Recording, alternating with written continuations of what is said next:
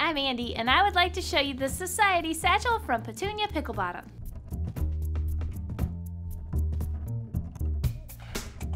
This really cool diaper bag is made out of a European cut velvet and cotton canvas material. It has slip pockets throughout the entire bag with a magnetic closure pocket here located at the front, slip pockets on each side, and two here located on the back for easy storage and to help keep you organized. It has a removable crossbody strap that is adjustable here. It's removable on each side with these little lobster claw clasps, super easy to use, and then you can carry it with this top handle here.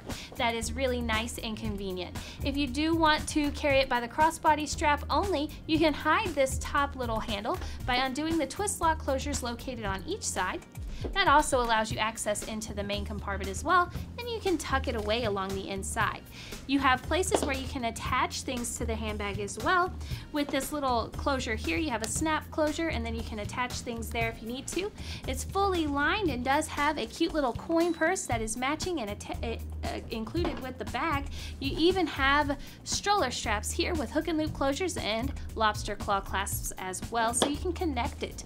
The bottom of the bag is very convenient as well. It'll help keep you organized. It has protective feet so you can set it up right. And then when you uh, open it up, you'll notice that you have your changing pad. You lay it down and it is padded to protect your little one. And then you do have two little slip pockets located here on the back.